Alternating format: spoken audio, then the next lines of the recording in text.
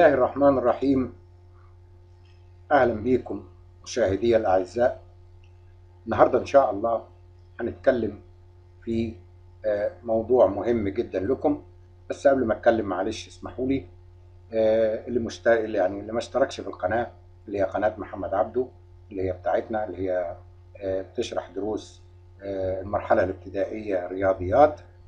تحت الفيديو على طول هتلاقي كلمة محمد عبده بالإنجليزي. اضغط عليها هتدخل على القناة. لما تدخل على القناة هتختار كلمة قوائم التشغيل. هتلاقي في قوائم التشغيل لكل صف في قائمة بالدروس وفي قائمة بالمراجعات. اضغط على اللي انت عايزه هتلاقيه موجود بالتسلسل على طول تحت بعضه بالترتيب بتاع الدروس أو بترتيب المراجعات. يعني يمكن المراجعات آه في حاجات عملتها قبل حاجات. وما تنساش برضو إن أنت تشترك في الجروب بتاعنا على الفيسبوك اللي هو دروسنا في بيتنا مجانا. وبرضو ما تنساش إن أنت تشترك في مدونتي اللي هي مفاهيم الرياضيات ودول كلهم أنا هحطهم لك تحت الفيديو. تعالوا مع بعض نشوف إيه موضوعنا النهارده اللي هنتكلم فيه. هنتكلم على رياضيات الصف الأول الابتدائي الفصل الدراسي الأول. كيف يتعلم طفلك في المدرسة وفي البيت؟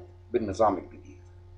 يعني إذا كان بيشاهدني أولياء أمور وهيشوفوا اللي أنا بشرحه هيقولوا إحنا مالنا ومال الكلام ده لا أنت مالك؟ مالك ضروري؟ ليه؟ لأن حضرتك هتتابع ابنك. إذا ما كنتش عارف المدرس بيعمل إيه يبقى أنت مش هتعرف تشتغل مع ابنك في البيت. وبالتالي حتى لما تروح تسأل على مستوى ابنك هيقول لك لا ده إحنا عندنا النظام الجديد بيقول كذا وبيقول كذا يبقى في الحالة دي انت يعني وقفت في موقف مش هو صح ولا لا؟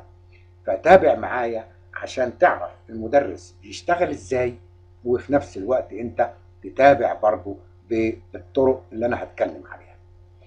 ال- الكلام اللي أنا هقوله ده ده أنا يعني ممكن تقول حضرتك المناهج لسه ما نزلتش والكتب لسه ما نزلتش لكن بفضل الله وبمعاونة أحبابي قدرت أوصل لدليل معلم المادة اللي هي الرياضيات الصف الأول فكلامي موثق باللي نازل من الوزارة. آه، تعالوا مع بعض نبدأ كده ونشوف. آه، بنقول في مخنا هو النظام الجديد ده يعني هيعلمنا إيه وهيعلمنا إزاي وإيه هدفه؟ طبعا لازم نعرف إن النظام الجديد بيتم فيه تعليم وتعلم. تعليم إن إحنا بنعلمهم. لكن تعلم إن هم يتعلموا عن طرق مختلفة من خلال أنشطة. فده بيبقى التعلم. يعني آه، آه، زي المثل الصيني اللي بيقول آه، ما تدينيش سمكة وعلمني إزاي أصطاد. فهو برضو هنا الفكرة دي يعني هي اللي مطبقة في هذا النظام. إذا إحنا هنا في النظام الجديد بتاعنا اللي منزلاه الوزارة بيتم فيه تعليم وتعلم. من خلال إيه؟ من خلال أنشطة الأنشطة دي بينفذها إزاي المعلم؟ المعلم بينفذها على حسب إرشادات واضحة موجودة في دليل المعلم بيوضح له الخطوات وبيوضح له بيوضح له الاستراتيجيات اللي هيشتغل بيها وبيوضح بيوضح له طرق التدريس وبيوضح له تقسيم الحصة وإزاي يشتغلها والحاجات اللي هنحكيها كلها دلوقتي. دي اللي هي الإرشادات الواضحة. الحاجة التانية إن في استراتيجيات تعليمية بيشتغل بيها المعلم وبرضه كل ده هيوضح بالتفصيل بس أنا مش عايز أقول كلام وبعدين أرجع أعيده تاني في مكانه فهنمشي على طول وكل حاجة هتجيب المعنى بتاعها. يعني خلي خلي بالك طويل معايا. آه، حاجة تالتة يعني الأنشطة دي بينفذها مش عشوائي ولا بمزاجه لا من خلال إرشادات واضحة واستراتيجيات اللي هي الأساليب أساليب التعليم يعني.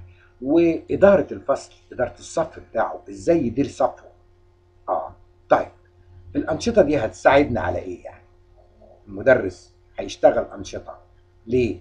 آه, آه هتساعد على إن هو هيكتشف الطالب نفسه التلميذ نفسه الطفل يكتشف ويتحرك ويلعب ويتواصل ويبحث مش هقول له دي اسمها واحد اطلع من انزل من من فوق لتحت بالراحة امسك ايدي هات رجلي هات مش عارف إيه لا اظبط معايا لا الكلام ده لا خلاص. هو اللي بيكتشف وهو اللي بيتحرك وهو اللي بيلعب وهو اللي بيتواصل وهو اللي بيبحث.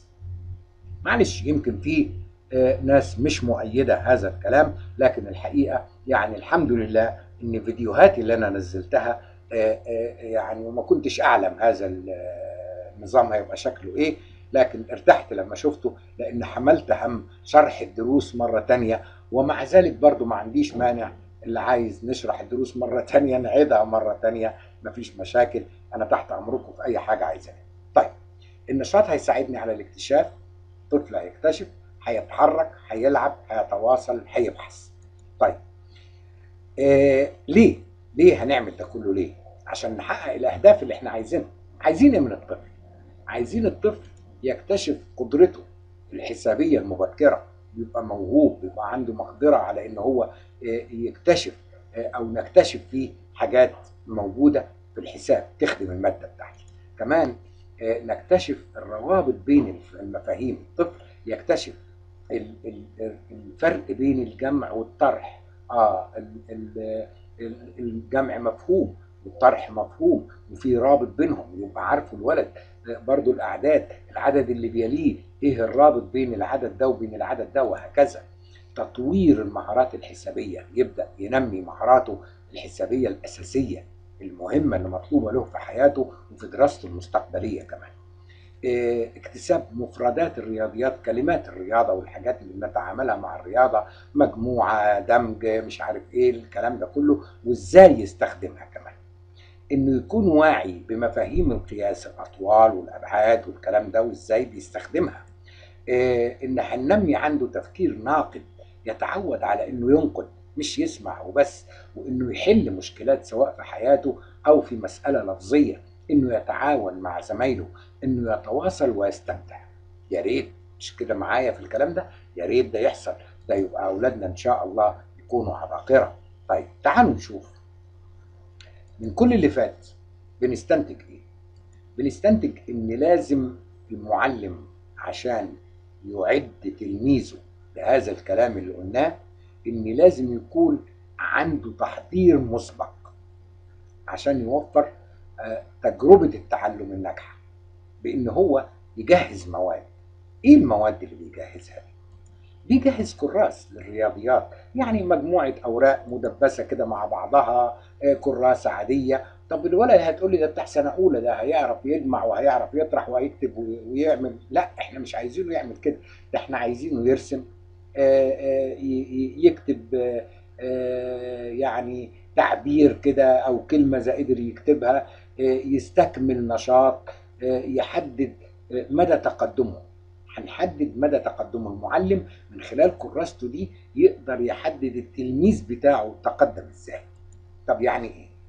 يعني اللي هيتعلمه ما تعلمه التلميذ اللي هو آه، ظهر في كراسته من خلال الشرح بتاع المعلم بتاعه والأنشطة اللي عملها ده هنسميه محتوى. ده محتوى الكراسة بتاعته. يعني إيه اللي هو الكراسة؟ هو اللي اتعلمه التلميذ. مش كده ولا ما أنتش معايا؟ طيب. المطلوب من التلميذ أداؤه. طالبين من التلميذ إنه يعمل إيه؟ خدوا بالكم. المطلوب من التلميذ أداؤه ده هنا هيبقى عبارة عن إيه؟ عبارة عن نشاط. يعني النشاط ما دام هيؤديه التلميذ هيبقى نشاط سواء إذا كان النشاط عقلي ذهني آه، حركي على حسب ما هي- هيتوقف على النشاط بتاع الحصة بتاعتك. طيب آه، ماذا اكتشفت أنا بشأن التلميذ اللي قدامي ده؟ آه يعني اذا أنا قيمته من خلال كراسته وبالتالي هيبقى ده هو التقييم. طب التلميذ ده اللي أنا شايف كراسته دي محتاج إن أنا أعمل له إيه عشان أعدل الدرس اللي يناسبه؟ آه يبقى ده اسمه تميز هنا. هخليه هميز التلميذ عن زمايله بنوعيه بوضعه إيه أو أو مستواه إيه وإزاي أرفع من مستواه. طيب كويس خالص وبعدين إيه تاني كمان إيه تاني؟ بص معايا. هندخل بقى في الموضوع بقى يعني. بتدريس الرياضيات عندي في الصف الأول على حسب آه، آه، دليل المعلم اللي هو 300 صفحة وشوية عبارة عن فصول. كل فصل فيه 10 دروس. بيدرس كل يوم درس. تقول لي يا طب وأنا هلاحق وراه إزاي؟ وهو الدرس بيدرس درس كيمياء. ده الدرس عبارة عن الأعداد واحد مثلا. اتنين تلاتة آه يعني آدي الدرس بتاعه فلما هتشوف الدروس والتسلسل بتاعها هتلاقيه بسيط جدا جدا جدا جدا واللي بيعمله المدرس معاه واللي انت هتعمله معاه في البيت آآ آآ يكفي بالتدرج انك تمشي معاه يوميا وتتابع معاه يوميا. طيب درس الرياضيات اللي هيشتغله المدرس ينقسم إلى إيه؟ آه إلى ثلاث مكونات، كنا زمان نقول الأهداف وبعدين التهيئة وبعدين الخطوات السير في الدرس وبعدين التقييم بتاعي والاعداد لدرس قادم. لا الكلام ده دلوقتي اختلف. اختلف إيه؟ إن كراسة المعلم أو درس الرياضيات هيكون عبارة عن ثلاث مكونات. أول الحصة بتاعته اللي هي الفترة اللي هي عبارة عن 60 دقيقة أظن. ولا 90 دقيقة 60 هو هنا هو هو هنا حاسبها على حساب إنها 60 يعني. بيبدأ الأول بالتقويم والحركة. طبعا التقويم فيه مبدئي والكلام ده. يعني ما تقوليش أول ما ابتدي ابتدي بالتقويم. أيوه أعرف مستوى التلميذ فين. التقويم والحركة. ده بياخد من الحصة من 15 ل 20 دقيقة. دي أول جزئية. الجزئية الثانية الجزئية الثانية اللي هو التعلم. التعلم بيبقى واخد من 25 ل 30 دقيقة. يعني كده خدوا بالكم هنا في 30 دقيقة وهنا في 20 دقيقة يعني كده 50 دقيقة. وبعدين شارك التلميذ نفسه هنشرح الكلام ده كله بالتفصيل. شارك ده بياخد من 5 ل 10 دقايق. خدتوا بالكم معايا؟ اذا هنا زي ما حسبتها طلعت 60 دقيقة أهي. 20 و30 وادي ال 10 ممكن درس لسه في بدايته يبقى دي ممكن تزيد شوية مثلا يعني خمس دقائق 10 دقائق وبالتالي دي هتقل شوية عن عن عن المعدل بتاعها. يعني المدرس هيتحكم في الموضوع ده على حسب مستوى تلاميذه وعلى حسب إمكانياته المتوفرة وعلى حسب طريقة تدريسه. طب تعالى نشوف أول جزئية عندنا اللي هي التقويم والحركة اللي هي من 15 ل 20 دقيقة دي. ده نظام يومي مستمر. يعني كل يوم هيشتغل تقويم وحركة وكل يوم هيشتغل اللي شارك والتعلم. كل يوم هيشتغل الثلاث حاجات دول. فالنظام ده بيبقى نظام يومي. النظام الأول ده اللي هو الجزء الأول ده ده بيطور معرفة التلميذ لأن هو بيديله معلومات هنا بقى. آه بيديله معلومات إيه؟ بيديله دروسه. طب هو الولد بتاع سنة أولى هياخد إيه السنة دي في النظام الجديد؟ آه هياخد المجموعات وهياخد الأعداد على فكرة هيوصل لغاية 100 وبعدين هياخد القيمة المكانية اللي هي الاحاد والعشرات والمئات وياخد العد بطلاقة إزاي يعد؟ إزاي يحل مشكلة مسألة لفظية؟ مفهوم الكمية اللي كنا بنقول عليها مدلول العدد اللي هي بتعبر عن العدد يعني العدد بالأنماط والحركة كمان فاكرين الأنماط والحركة في الدروس بتاعتنا اللي كنا بندرسها نمط واحد بيمشي عليه يعني يزود ثلاثة ثلاثة ثلاثة يزود ثلاثة وبعدين أربعة وبعدين خمسة وبعدين يرجع ثلاثة وبعدين أربعة وبعدين خمسة ده بسميه نمط والحركة بتاعته.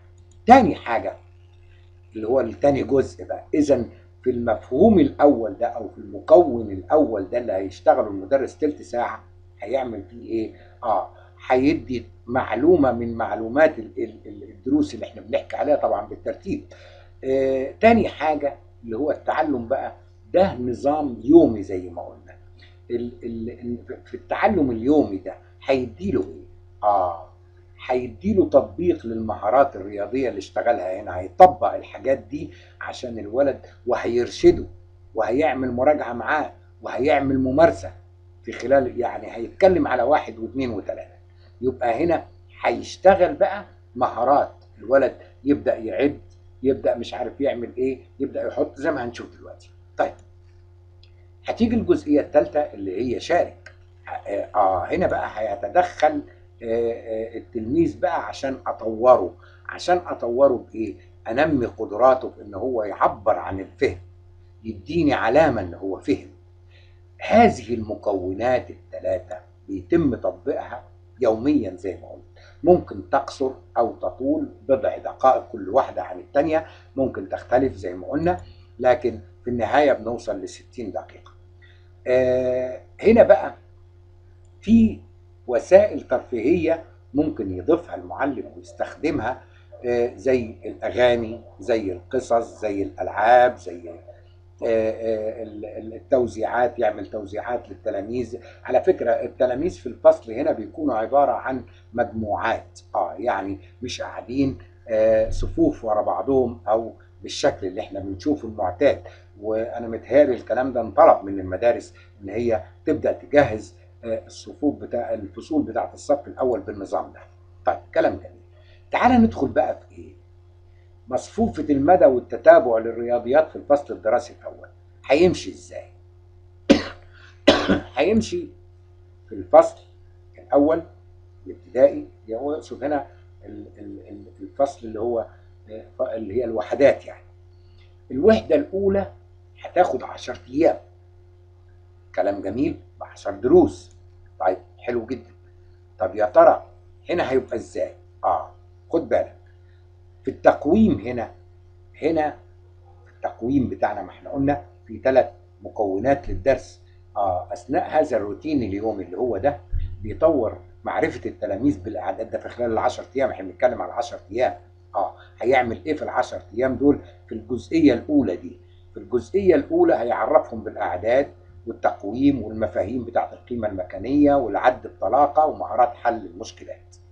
في الجزئية الثانية بتاعت تعلم تعلم هيبقى هنا أثناء هذا الروتين اليومي هيتعلم التلاميذ المهارات. دي إحنا قلناها من شوية وفق إرشادات المعلم بس أنا حبيت أجيب لكم صورة الكتاب بيقول إيه يعني عشان يبقى دليل إن هو من دليل المعلم يعني.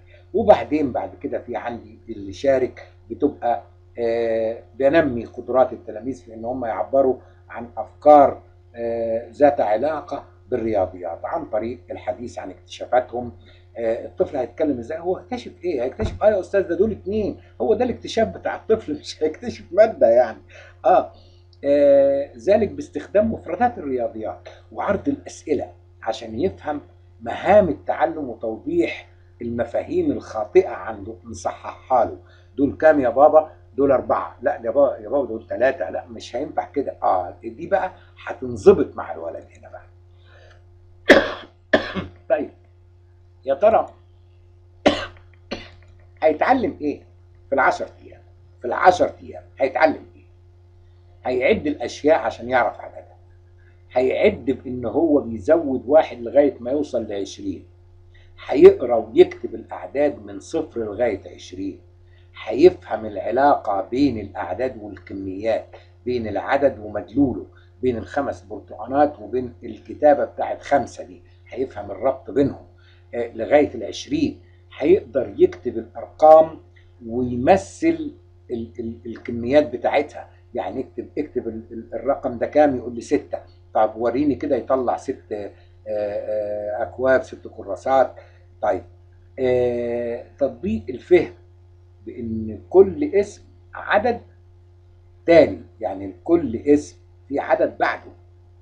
ان كل اسم عدد تالي يشير إلى كمية أعلى. يعني إيه معنى الكلام؟ ده يعني مثلا خمسة أزيد من الأربعة بمقدار واحد وهكذا يستمر في العد سبعة أز أز أكبر من ستة بمقدار واحد.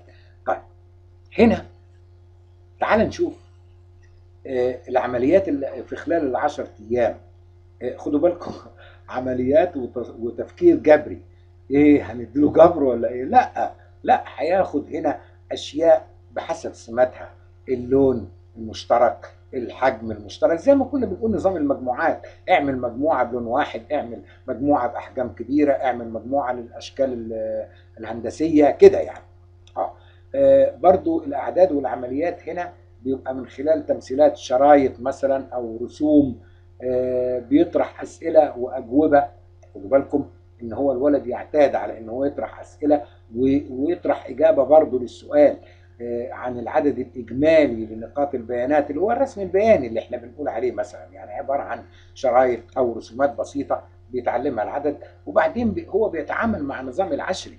نظام العشر اللي إحنا بنشتغل بيه بترتيب ثلاثة أو أربع أعداد مثلا آه يبدأ يتعامل معاهم للأقل من 20 رتب الأعداد دي وأجيب له 16 وبعدين 12 وبعدين 18 وأقول له رتبهم آه أو مثلا أجيب له أوراق اللعب اللي هي كوتشينة و أو يعد الأسطر ويحط شرطة بعد كل ما, ما يعد مثلا عايزين ثلاثة يحط بعد الثلاثه شرطة عايزين أربعة يحط بعد الأربعة شرطة كده يعني. طيب الكلام ده هيتعلمه بسرعة يعني ولا إيه مش فاهمين يعني؟ لا أنا هقول يا حبيبي. الخريطة الزمنية للتدريس هديك مثال أهو. ثلاث دروس أهو الأولانيين مثلا. بيعمل إيه في الثلاث دروس دول؟ بص كده هتلاقي الكلام متكرر. بيحدد الشهر واليوم والتاريخ ويعد الأيام اللي ذهبوا فيها للمدرسة ويعد ثلاث أشياء بس واحد اثنين ثلاثة ويقارن الأشياء من الكبير ومن الصغير وحجمهم وأشكالهم وألوانهم. تلاقي نفس الكلام متكرر هنا أهو. شايفينه؟ أهو اليومين بنفس النظام. يجي بقى في اليوم الرابع هيغير. بدل ثلاث أشياء هيبقى أربع أشياء ويقارن بين أربع أشياء ويشارك في تجميع البيانات. ده كله كلام. سامعينه يعني. ومستوعبينه والمدرس بينفذه بقى. المحور بالنسبة للمعلم آه خد بالك. المعلم بيجهز ركن في الفصل. الركن ده خاص بالرياضيات. بيحضر فيه حاجات كتير جدا. زي إيه مثلا؟ زي عصي الأسماء. زي بتاعه الدولسي دي. آه كل طفل يكتب اسمه على عصاية. هو يكتب أسمائهم على عصاية. عشان لما يجي يختار يسحب عصاية يبقى اختار اسم عشوائي ما يتكررش تاني معاه هيركنه خلاص على جنب. دي الفكرة بتاعت عصي الأسماء. حاجة تانية بقى هنا بيحضر الركن اللي قلنا عليه اللي بنسميه منطقة للرياضيات للتقويم هنا. ولازم المنطقة دي تشمل على إيه؟ شوف بقى الحاجات اللي تكون عنده. يبدأ فوق خالص يحط التقويم اللي هو الشهر واليوم بتاعه. يعني يعمل مربعات كده يرسموا يكتبوا فيها الأولاد أو يختاروا أعداد مكتوبة ويحطوها في اليوم ويختاروا بطايق للشهر يحطوها في الشهر عشان يعتادوا. وبعدين عندي كمان مخطط مربع 10 في 10 متقسم 100 مربعات كل دي بيجهزها هو للفترة الدراسية بتاعته كلها اللي هيشتغلها. وبعدين بيخصص مكان عشان يكتب تاريخ كل يوم. وبعدين بيخصص مكان لكتابة العدد الإجمالي لأيام الدراسة اللي مرت لغاية دلوقتي كام يوم دراسة. واخدين بالكم معايا؟ النهارده اليوم ال 15 آه فهو المفروض بقى إن هو يكون وصل للأعداد دي أو أو على الأقل يعرفها أو هيعرفها له المدرس. ما هنقول إزاي دلوقتي؟ اطار إطار كده بيتعمل عبارة عن مستطيل متقسم لخمس خانات. آه هنعرف برضو دي. ثلاث آه حاويات كوبايات آه علب بلاستيك آه أي حاجة. الحاجات دي كلها بيجهزها المعلم في ركن أو في منطقة الرياضيات. وبعدين بيكتب بقى في ال في ال في الثلاث كوبايات أو الثلاث صناديق الصغيرين دول واحدة يكتب عليها الأحاد والثانيه يكتب عليها العشرات والثالثه يكتب عليها المئات.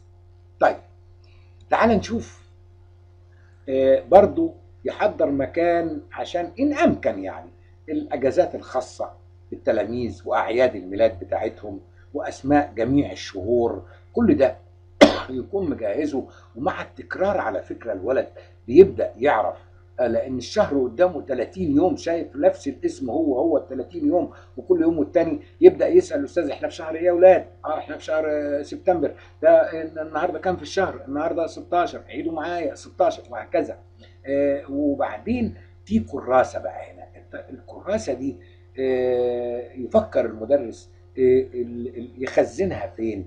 يحفظها فين؟ زي ما قلت مجموعة من الورق متدبسة مع بعضها يستخدم الكراسات يوميا عشان خاطر يدون الرسومات بتاعته الطفل ويعمل المفردات والحاجات البسيطة اللي المعلم بيقولها له ارسم بابا ارسم ماما ارسم أخوك ارسم أختك أي تعبيرات كده يبقى بيعودوا يعني فن وبيربط مادة تانية مع الرياضيات وفي نفس الوقت بيربط برضه العربي لأن هو بيكتب واحد وبيكتب اثنين وهو الكلام ده كان موجود فعلا بس هنا يعني الشكل أشيك شوية يعني بس هو مش أكثر من كده يعني ده اللي ده رأيي صراحة يعني.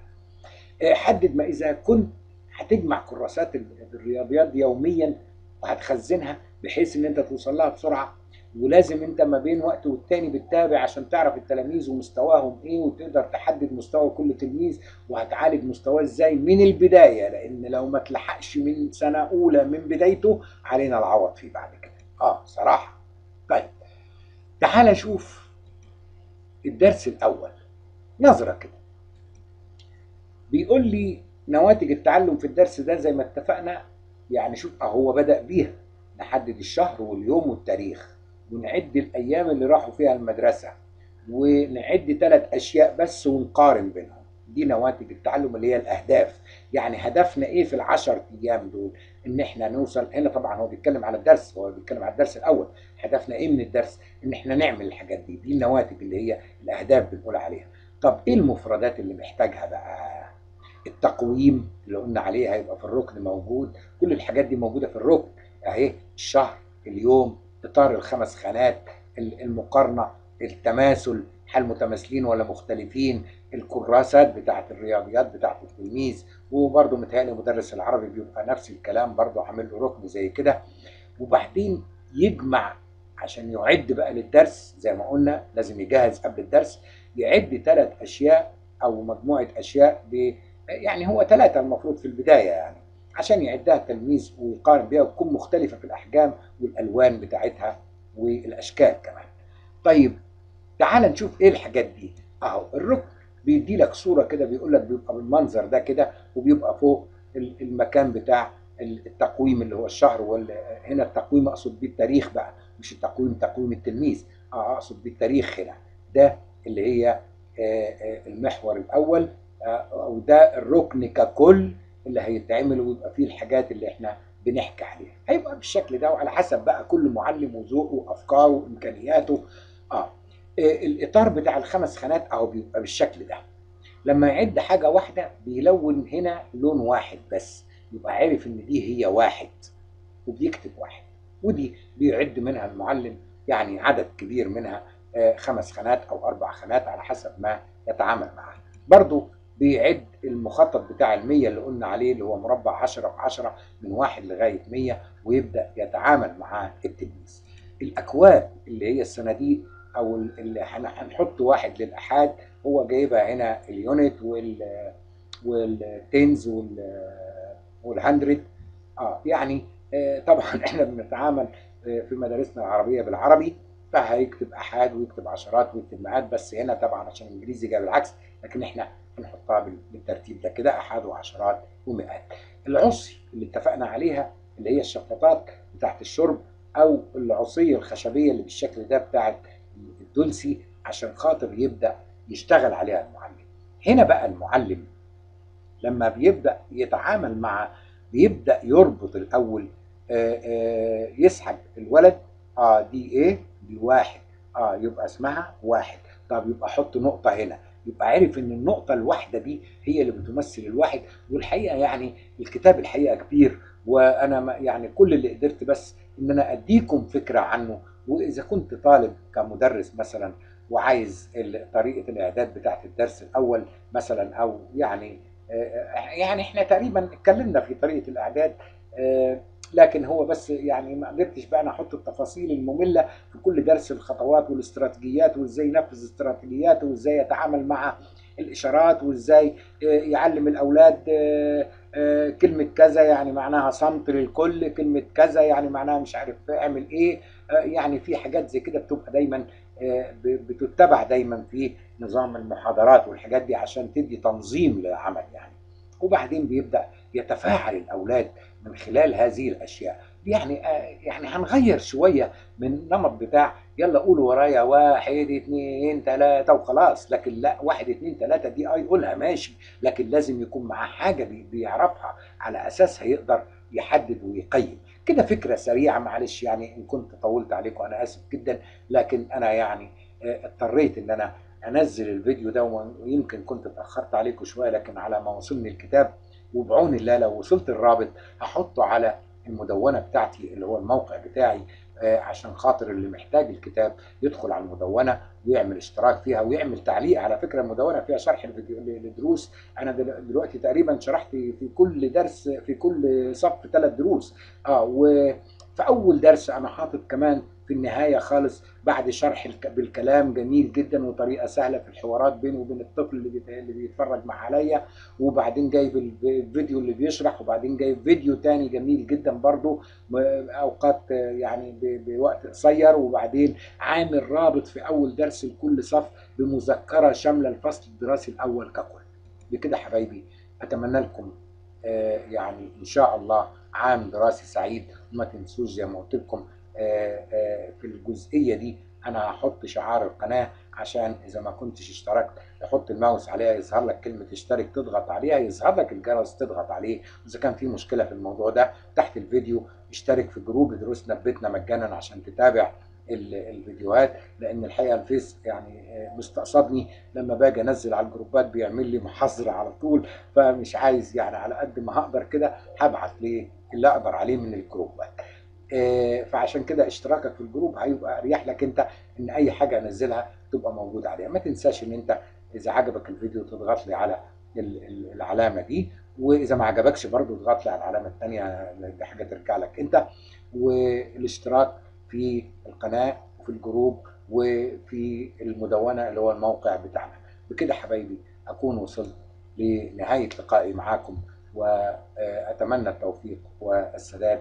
والسلام عليكم ورحمة الله وبركاته.